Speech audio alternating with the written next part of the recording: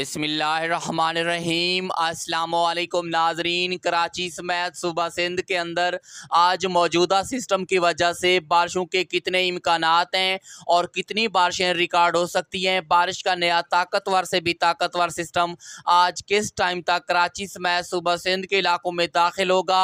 और नए आने वाले सिस्टम से कितनी बारिशें रिकॉर्ड हो सकती हैं? और बारिश का ये नया सिस्टम कब तक कराची समेत सुबह सिंध के इलाकों को मुतासर करता रहेगा? सिंध के मौसम की ताज़ा तरीन रिपोर्ट पेश खिदमत है। लेकिन नाजरीन, ताज़ा तरीन तफसीत में जाने से पहले आपसे गुजारिश है कि सिंध के मौसम के हवाले से लम्हा ब लम्हा बाखबर रहने के लिए हमारे चैनल वेदर इन्फो को सब्सक्राइब कर लें और वीडियो को लाइक कर दें। बहुत शुक्रिया। नाजरीन, महकमा मौसमियात और तमाम मौसमियाती मॉडल्स की ताज़ा तरीन रिपोर्ट और वेदर इन्फो की पेशगोई के मुताबिक गुजशत रात से कराची समेत सुबह सिंध के अक्सर और बेशतर इलाकों में कहीं हल्की से दरमियानी और बाज़ इलाकों में तेज़ बारिशें रिकॉर्ड हो रही हैं और मौजूदा सिस्टम की वजह से आज सुबह भी चंद इलाकों में बारिशें हुई और अब वक्ती तौर पर बारिश का सिलसिला थम चुका है।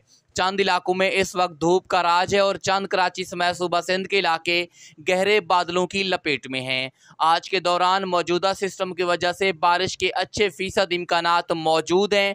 आज के दौरान कहीं हल्की और कहीं कहीं हल्की से दरमियानी बारिश का सिलसिला शुरू हो सकता है और चंद इलाकों में मुख्तर दौरानिया की तेज़ मौसलाधार बारिशें भी हो सकती हैं। आज शाम रात से बारिश का नया ताकतवर से भी ताकतवर सिस्टम अपनी पूरी शिद्दत के साथ सूबा सिंध के इलाकों का रुख करेगा, जो इंतहाई ताकतवर हो सकता है। बारिश के नए सिस्टम से कराची समेत सूबा सिंध के इलाकों में गरज चमक के साथ शदीद बारिशों का खतरा मुतव है। शदीद बारिशों की वजह से कच्ची आबादियों में सैलाब का भी ख़तरा पैदा हो सकता है और शहरों के अंदर अर्बन फ्लडिंग का ख़तरा मुतव है, इसलिए जितना ज़्यादा हो सके एहतियात करें। बारिश का ये नया सिलसिला आने वाले चार से पाँच रोज़ तक कराची समेत सुबह सिंध के इलाकों में वक्फे वक्फे से जारी रह सकता है। बारिश के नए सिस्टम से होने वाली बारिशें पिछले सारे रिकॉर्ड तोड़ देंगी। वल्लाह आलम। बाकी दुआ करें कि अल्लाह पाक जहाँ भी दे, खैर की बारिशें दे और हम सबको अपनी हिफ्ज़ मान में रखे। बाकी मौसम के हवाले से, बारिश के हवाले से जैसे जैसे अपडेट्स आती रहेंगी,